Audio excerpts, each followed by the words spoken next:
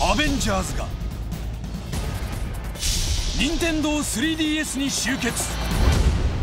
ディスクウォーズアベンジャーズアルティメットヒーローズ。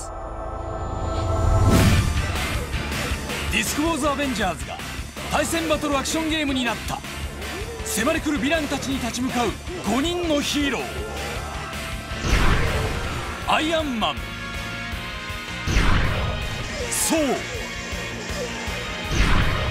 キャプテンアメリカ。ハルク。ワスプ。次々と襲いかかるヴィランたち。敵との相性を考えながらディスクを切り替えて戦え。ヒーローたちが実体化できる時間は限られている。ミッションクリアやステージ内に隠されているアイテム ISO8 を使うことでヒーローたちが強くなる。最強のヒーローに鍛え上げろ。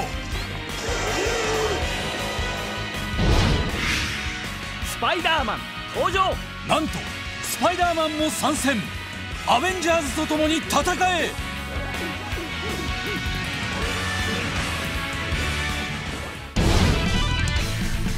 ストーリーモード。ゲームオリジナルのアベンジャーズたちの冒険。終わりにしてやろう。ヴィランたちが巻き起こすさまざまな事件を解決していく。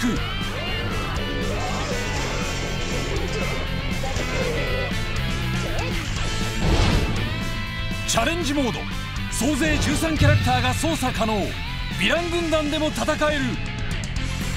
サバイバルでは3人1チームで次々と現れる敵をガンガン倒せ。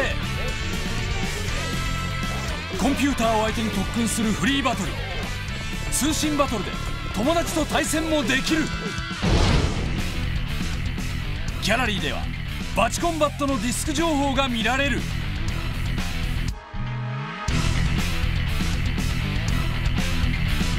アルティメットユニベーム。スーパーライトニングストライク。シールドバウンスアルトスマッシ行くわよ。ワスプストライク。ュスパイネーキロキの陰謀襲い来るヴィランたち。最強で最高の仲間と共に戦え。思い知らせてやる任天堂 3DS 専用ソフト「ディスクウォーズアベンジャーズ。